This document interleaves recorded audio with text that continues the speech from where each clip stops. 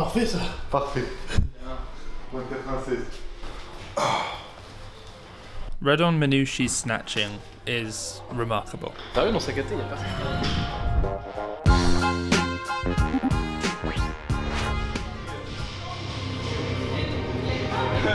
Tall, long femurs, long arms, short torso, built more like a jumper. Redon Manushi has managed to snatch some of the heaviest lifts that Western Europe has seen for quite some time in the 94 kilo weight category. Despite a body that looks made for a heavy pull, Redon is also known for having, at least by my estimation, the slowest pull, at least until mid thigh, in the world. His ability to fixate a barbell overhead that just half a second prior looked like it was rep 5 of a 5RM snatch deadlift is mind boggling.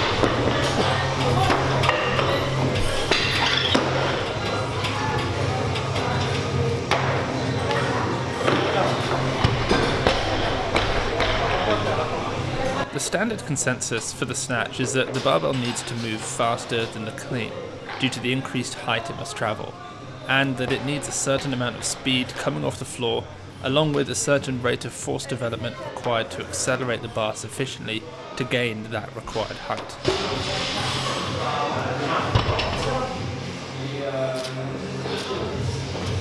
When Redon lifts, however, he seems to defy all of this. The bar comes off the floor slowly. It stays slow, and then only at the hit does the speed actually appear. Also, due to his shorter torso and wider grip, the displacement of his torso required from peak extension to then getting under and fixating the bar is far less than with most people. Coupled with such a deep squat, his ability to catch weights that seem too heavy for everyone else becomes possible.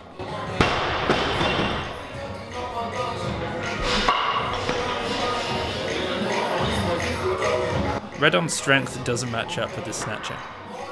With a max back squat and max deadlift of 230 kilos, his snatches of 172 and 175 kilos, for which he was awarded the French national records, works out at 76% of his back squat, 16% over the Soviet target of 60%. Redon's body is made so perfectly for getting under a snatch that it isn't so much that his squat and pull are necessarily weak, as much as it is that he is actually having to catch and stand up with a much heavier snatch than most. Working out 76% of your own back squat and trying to snatch it seems to most people to be conducive of clerking. Also, if you're interested in the straps that Redon is using here, these are the Weightlifting House straps. You can get them in black or blue at weightliftinghouse.com.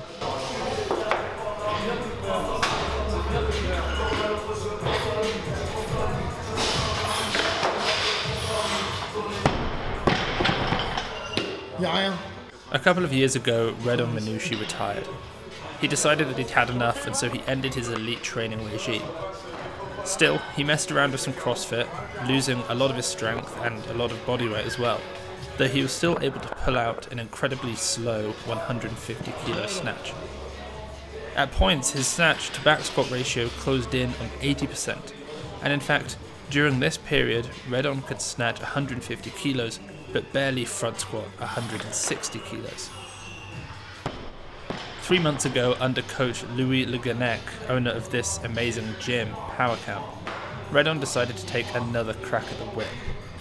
And also, just a big thank you to Lou for keeping me up to date and providing me with the amazing footage of this historic session. The program focused on his weaknesses, as all good programs do. In this case, building his abductor, adductor, and quad strength in particular. Less than three months later, Redon turned up to this training session and snatched 185 kilos off the blocks, weighing just shy of 96 kilos. More than any current 96 in the world is snatching, just one kilo under Sohrab Moradi's world record. In fact, the last four weeks of this program that Louis wrote for Redon are up on the Weightlifting House Patreon page if you want to check it out. The link's in the description. Louis now believes that Redon is ready for 180 kilos from the floor, despite only just front squatting a PR of 201 kilos.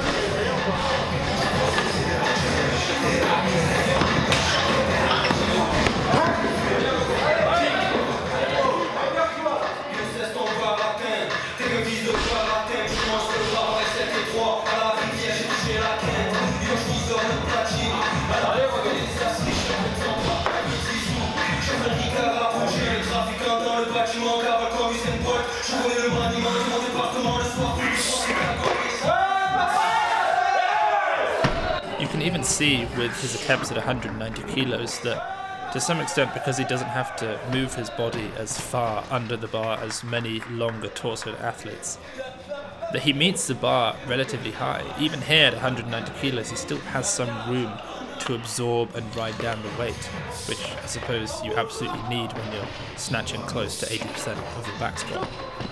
Make sure you all follow PowerCamp33 on Instagram and, of course, the legendary at Red on. His program is on the Weightlifting House Patreon.